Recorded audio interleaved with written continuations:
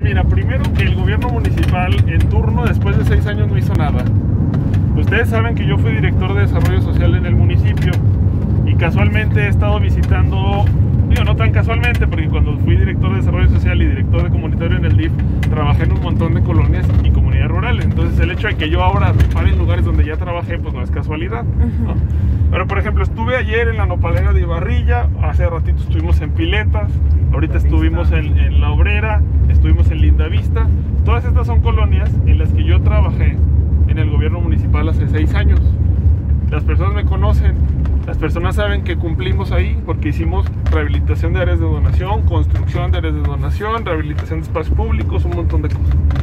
Y me dicen, desde que usted estaba en el gobierno, no pasa nada en mi colonia.